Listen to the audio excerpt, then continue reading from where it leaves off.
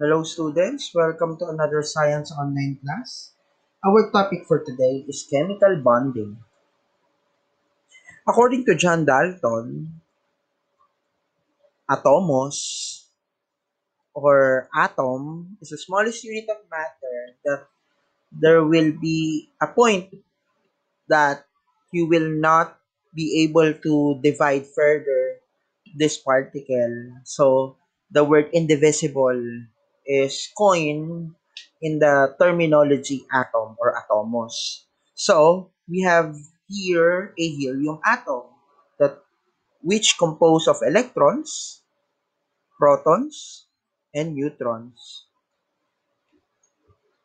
We say electron shells, okay, so in understanding the term electron shells, we need to understand first the fundamental terminologies. First, the atomic number of a certain element is always equivalent to the number of electrons. If it's uh, if the charge is neutral. Second, electrons vary in the amount of energy they possess and they occur at certain energy levels or electron shells.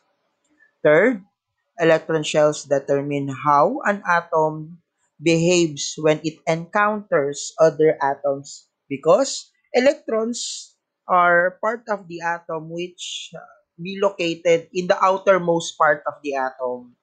So, electrons are subjected to interaction to other atoms. Electrons are placed in shells according to rules. So, the first shell can hold up to two electrons only. And each shell after the first shell thereafter can hold up to eight electrons. So that is the rule in putting electrons in specific electron shells. Remember, the first shell can hold up to two electrons only, while the second shell up to the nth shell can hold up to 8 electrons. So, we have what we call the octet rule. So, when we say octet rule, atoms tend to gain, lose, or share electrons so as to have 8 electrons. So, each elements have certain number of ele electrons and some of the elements or atoms requires a number of electrons to become stable.